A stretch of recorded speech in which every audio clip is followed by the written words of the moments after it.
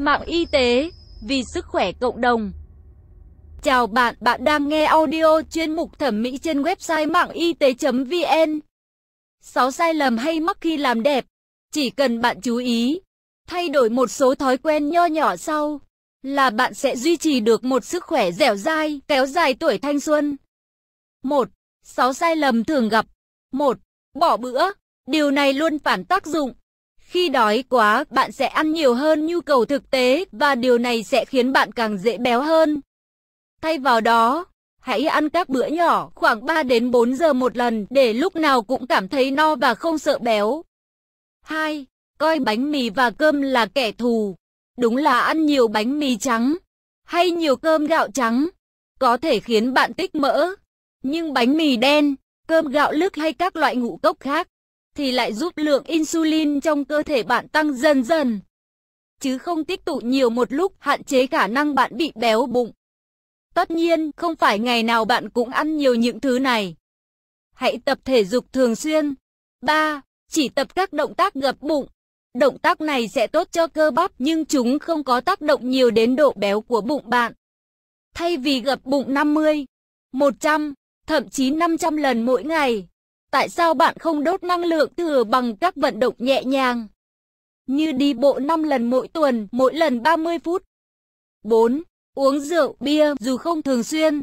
Theo các nhà dinh dưỡng, cồn có rất nhiều năng lượng không tốt cho bạn. Vì vậy, khi bạn uống rượu, các cơ bắp của bạn sẽ bị nhão đi. Vì vậy, bạn nên bỏ thuốc lá và đồ uống có cồn, thỉnh thoảng nếu thèm bạn có thể uống một chút rượu vang đỏ. 5. Ăn những sản phẩm không đường. Bạn nghĩ rằng chọn sữa chua không đường hay đồ uống dành cho người ăn kiêng hoặc các loại đồ ăn nhanh ít béo, nghèo năng lượng sẽ giúp giảm cân. Nhưng những thức này thường đi liền với những chất làm ngọt nhân tạo.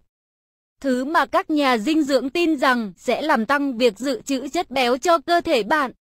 6. Coi thực phẩm giàu chất béo là kẻ thù. Điều này nghe có vẻ mâu thuẫn, nhưng những thực phẩm giàu chất béo chưa no, giúp bạn giảm béo vùng bụng và cũng làm bạn tiêu thụ ít thực phẩm đi. Các chuyên gia dinh dưỡng khuyên bạn nên cho một chút dầu ô liu và dấm lên món salad của mình. Để khỏe đẹp nên ăn hoa quả tươi và tập thể dục thường xuyên. 2. Bí quyết đúng cần áp dụng. 1. Đậu, dầu, vừng, chanh, tỏi. Càng ngày càng ít phụ nữ Nhật bị ung thư vú. Độ tuổi mãn kinh của họ cũng muộn hơn và họ cũng ít phải chịu những biến đổi khó chịu trong giai đoạn tiền mãn kinh.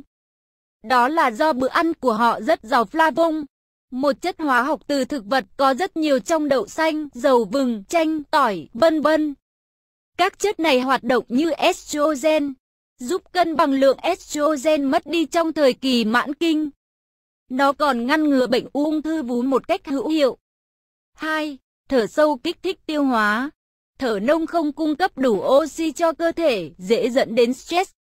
Ngoài ra, nó cũng ảnh hưởng tới tiêu hóa, khiến cơ thể bị phù, gây chứng táo bón, ở chua. Thở đúng cách giúp cơ bụng, đàn hồi tốt rất có lợi cho tiêu hóa. Bạn có thể thở sâu ở bất cứ nơi nào, bất cứ lúc nào, vì động tác này hết sức đơn giản. 3. Luôn để ý đến vòng eo của bạn.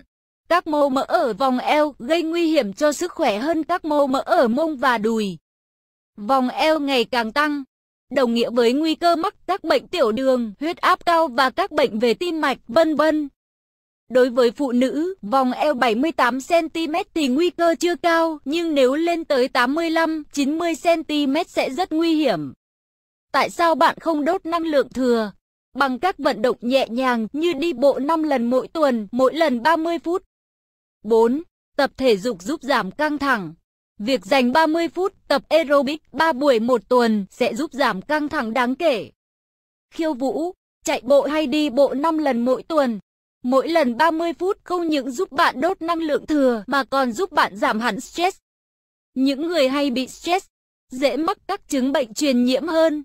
Vì thế các bài thể dục giảm căng thẳng sẽ tăng sức đề kháng cho cơ thể. 5.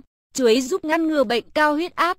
Chứng cao huyết áp dễ dẫn đến các bệnh tim mạch và đột quỵ. Nếu bạn ăn hai quả chuối mỗi ngày, thì nguy cơ mắc các chứng bệnh liên quan tới tim mạch sẽ được hạn chế.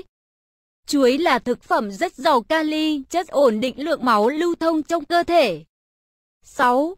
Thực phẩm từ yến mạch ngăn ngừa bệnh tim mạch. Những thói quen xấu trong cuộc sống như hút thuốc, ăn thực phẩm nhiều mỡ làm tăng lượng cholesterol và gây tác động mạch. Nhưng nếu bạn ăn cháo yến mạch độ 2 lần trong tuần, có thể giảm bớt nguy cơ mắc bệnh tim vì yến mạch chứa hóa chất giúp lưu thông động mạch. 7. Sự tự tin giúp tăng tuổi thọ.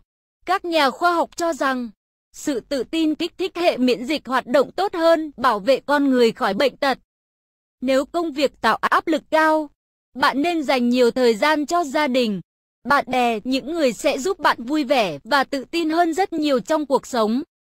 An Ngọc Hoa, theo Good to Know. Nội dung bài viết đến đây là kết thúc. Nếu bạn có thắc mắc, câu hỏi gì xin hãy chia sẻ bình luận bên dưới bài viết này. Mời bạn hãy đăng ký kênh Mạng Y tế, chia sẻ bài viết này tới bạn bè và theo dõi thêm những audio tiếp theo. Hy vọng bài viết này sẽ đem lại cho bạn nhiều điều bổ ích. Chúc bạn luôn mạnh khỏe.